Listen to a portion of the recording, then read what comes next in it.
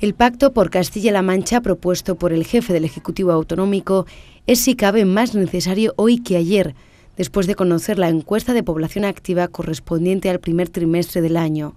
Unos malos datos en palabras del presidente Barreda y que nos deben llevar a impulsar ese pacto que ya cuenta con el apoyo de los sindicatos y de los empresarios y que está a la espera de los demás partidos políticos de la región. El Partido Popular está eh, a la espera de que le mandemos, según me dijo eh, su eh, líder, un papel, un documento que quieren estudiar previamente para ver si se suman o no al pacto. Pese a esas reticencias y esas cautelas, yo espero que lo hagan con el deseo de empujar en la misma dirección, tal y como decía en la anterior respuesta, que creo que es lo que toca ahora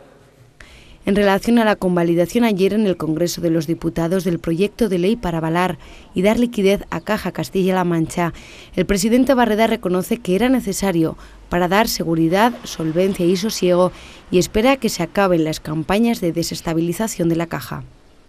Eso es una buena noticia para los ahorradores, para los impositores, para la Caja.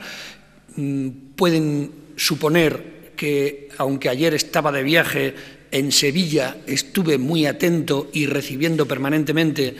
información de cómo transcurría el debate en el Congreso y debo decir que transcurrió en términos muy positivos.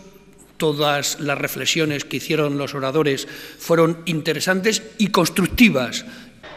el Ejecutivo Autonómico también valora positivamente el fondo del Gobierno de José Luis Rodríguez Zapatero para los ayuntamientos. El objetivo es que mantengan su actividad y puedan pagar a las pymes los servicios que les adeudan.